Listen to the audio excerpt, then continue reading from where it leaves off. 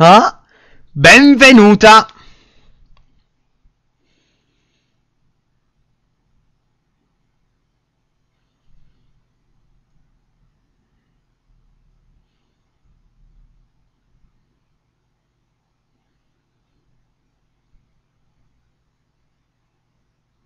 Mm, eh, la vita mi sorride.